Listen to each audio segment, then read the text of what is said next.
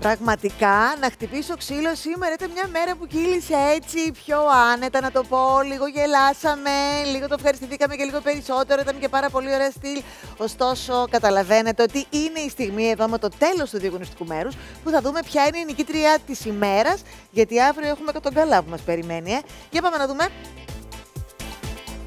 Α, ποιε είναι οι νικήτριε της ημέρας από ό,τι καταλαβαίνω. Είναι η Χριστιανά με 9,9 μαζί με την Εμιλία που έχει επίσης 9,9 και είναι η Βασιλική στην τελευταία θέση με 6,6 και μετά η Μάιρα με 8.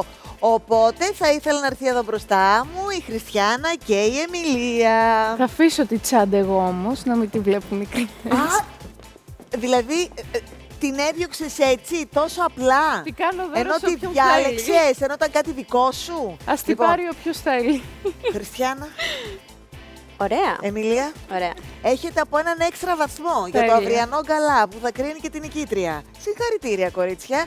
Θα κάνετε μαζί πασαρέλα. Τέλεια. Ορίστε, πάμε.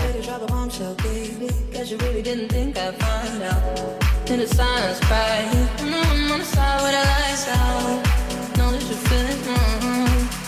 you feel it, mm Open up my heart and head. Falling out of love again. Falling on my Την είχαμε και την ισοβαθμία μας, κάναμε πασαρέλα τα κορίτσια μας και τώρα προετοιμαζόμαστε για το επόμενο επεισόδιο που είναι τον καλά.